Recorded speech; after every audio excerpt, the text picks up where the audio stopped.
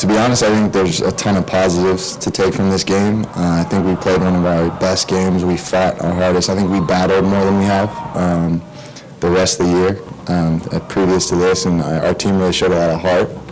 I think everyone was uh, was fully committed to the cause, and I think we played one of our best games, um, and we just we can move on from that. I know it was an unfortunate result at the end, but we know that we played well, and we know that we fought together as a unit. So I think that's a big positive to take away. It's one of those things where I think uh, our team fought hard um, the whole game defensively. We were battling, we were fighting, um, and that's why it was such a killer at the end. Um, you know, I take responsibility for that. I don't think anyone should ever score off a off a cross.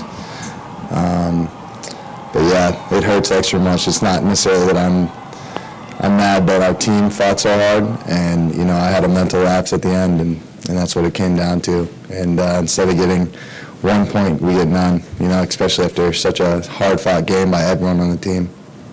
Goalkeeper is a position where, for me, I think of it as it's 50, 60 percent uh, a mental position. Um, rebounding from mistakes like that is hard, but for me, the best thing to do is. Uh, get out on the training field and get to work, uh, make sure that nothing like that happens again.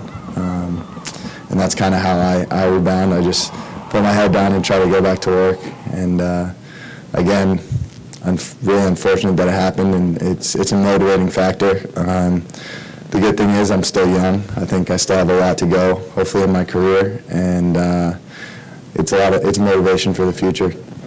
We got a couple days with this back line, um, which to be honest with their performance was, it, I thought they played a great game, um, especially, I mean, Danny's a young guy coming up from the academy. I was very impressed with him, and, and Emilio got his first start, and you know he's been he's been lights out in practice for a while, and I think uh, he earned the earned, earned the start tonight, and, and he did well with it. I thought I was very happy with their play, um, even working off each other, just having two days. Uh, it was very impressive how they worked together and how they how they fought and uh, defended well throughout the game. I think the, the good part about our team is we have a lot of young guys um, and a lot of guys who um, get along very well. So I think when when the guys come down from our side, they're typically young guys as well, and, and they get into the mix right away. Um, we've been, been building more and more at training, and obviously we have our core group that's that's there every day at training, and uh, uh, those people do a lot. I think to unify the team and unify everyone who goes down, everyone who's in every day, um, putting work,